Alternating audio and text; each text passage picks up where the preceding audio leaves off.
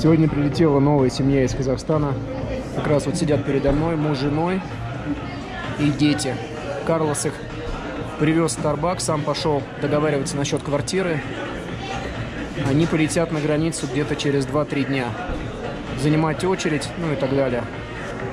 Пока Карлос занимается размещением семьи из Казахстана, совсем близко от центра, один квартал. Они будут тут недолго. Я вам хотел бы порекомендовать посмотреть до конца этот видеоролик. В нем первая часть полезного видеоконтента от YouTube канала «Типичный иммигрант», «Мигрант ТВ». Я записал для вас видео, связанное с взаимодействием вашего поручителя и вас, если вы окажетесь в дотейшн-центре, если вы приедете на границу без ребенка, что ему делать, куда идти, как найти правозащитную организацию и как вытащить вас из дотейшн-центра очень быстро, чтобы вы провели там как можно меньше своего времени. Видео основано на реальных событиях. Я сам был в дотейшн-центре две недели, провел там две недели. Я знаю все подробности, мельчайшие подробности, потому что я сам лично столкнулся с проблемой, когда никто не знал, что я нахожусь в Калифорнии в дотейшн-центре.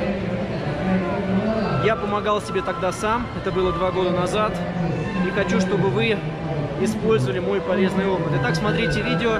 Спасибо. Пока.